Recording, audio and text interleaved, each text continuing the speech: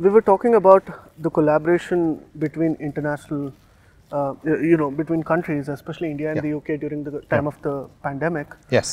And uh, you know, the collaborations essentially made a lot of changes in terms of the global supply chain as well. Yeah.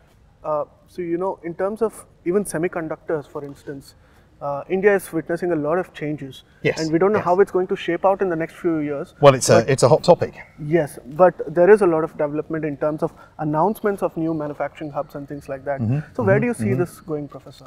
Yeah, I mean, I think it's a really important um, issue, and it's an issue um, again where you've got the application and development of scientific activities and how they move into the supply chain. I mean, semiconductors is a really good example because you know the world um, condensed and condensed and condensed down in terms of its manufacturing of semiconductors, and really ended up with Taiwan as as very dominant um, in silicon production. I mean, the other the other semiconductors may be uh, less so, um, particularly the um, uh, compound semiconductors. But certainly for for silicon, uh, Taiwan produces something like 85% of the world's silicon. Right. And having that in one place, um, particularly in an area which is so geopolitically vulnerable for obvious reasons, is clearly a very bad thing. And I think one of the things that COVID did is it made people realize that you can't have all your vaccines produced in one place. Right. You need a distribution for resilience. And it's this resilience w- uh, word. Um, and, and it's suddenly become very clear as well, I think, for semiconductors. Right. So the US is going to certainly um, develop its um, technology capability. I mean, it's very interesting actually because it's not really about the patents, it's not really about the technology, it's about the know how. Right. It's those people who really know how to produce those balls of silicon again and again. Right. But there are other semiconductors, like, as I said, the compound semiconductors, the indium phosphides, the gallium arsenides, and all these other exotic sounding materials. Yeah. They're also important from uh, a point of view of sensors. Right. And as, as time goes on, we're more and more dependent on sensor technologies. Right. So I think there's going to be partnerships developing, and certainly the UK is considering about how it is involved in this whole semiconductor issue.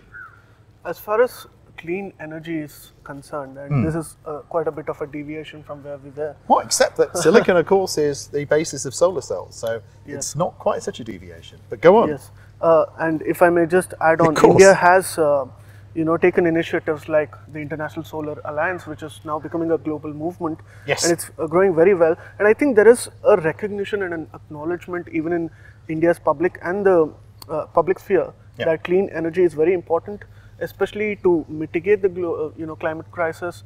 And also, you know, to reduce our dependency on different uh, sorts of fuels.